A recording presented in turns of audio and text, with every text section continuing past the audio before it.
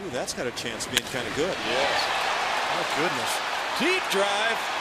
Way up there. And that one bangs off the wall. And that is above the yellow line for another home run. That's number six for the Astros. J.D. Martinez unloads number six himself.